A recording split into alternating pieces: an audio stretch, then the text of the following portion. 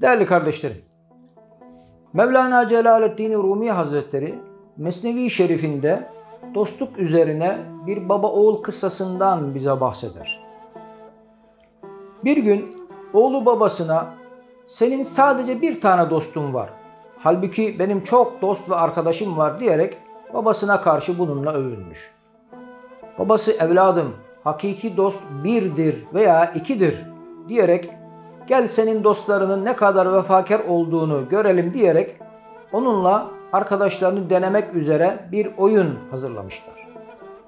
Bir koyun kesip çuvala doldurup sanki bir adam öldürmüş gibi şimdi bunu al o vefakar dostlarına götür. Bakalım sana nasıl muamele yapacaklar diyerek onu dostlarına göndermiş. Oğlu kendisinden emin, dostlarının kendisine yardım edeceği kanaatiyle sabaha kadar bütün dostlarını dolaştığı halde hiçbirisi ona yardım etmemiş, kapıyı yüzüne kapatmışlar. Üzgün bir şekilde çuval sırtında eve dönünce babacığım sen haklıymışsın.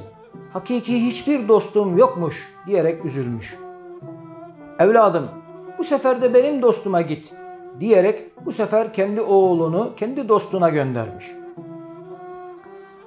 Babasının dostunun kapısına vardığında ben bir adam öldürdüm. Onu da bu çuvala koydum der demez aman evladım kimse görmesin duymasın diyerek onu hemen içeri almış. Sırtındaki çuvalı evinin arka bahçesindeki çiçekliğe kazıp gömmüş. Üzerine de birkaç tane gül fidanı dikerek selametle babasına uğurlamış. Eve gelen delikanlı babacığım sen haklıymışsın gerçek vefakar dost seninkiymiş diyerek babasına olanları anlatmış. Evladım hemen karar verme. Yarın tekrar git. Bu sefer ona ağır hakaretlerde bulun. Hatta bir de tokat at demiş.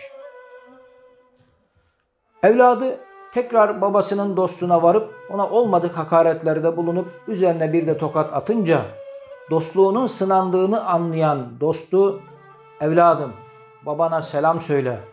Biz bir tokat için gül bahçesini bozmayız demiş. Değerli kardeşlerim, dost odur ki vefakar olsun. Dost odur ki zor zamanlarda insanın yanında olsun. Böyle vefakar dostlar olmak, böyle vefakar dostlar bulmak ümidiyle Allah'a emanet olun.